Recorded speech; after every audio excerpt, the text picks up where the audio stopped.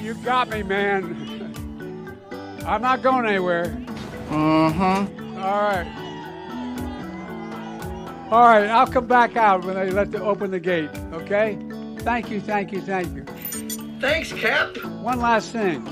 You know, I used to think when I was a senator, was there were always congestion on the highways. There's no congestion anymore.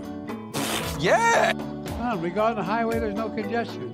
And so what the way they get me to stop talking, they'll say, we just shut down all the roads, Mr. President. You're going to lose all the votes if you don't get in. But anyway, I'll be back out. Thank you, thank you, thank you, thank you. I love you. It's not funny. Thank you.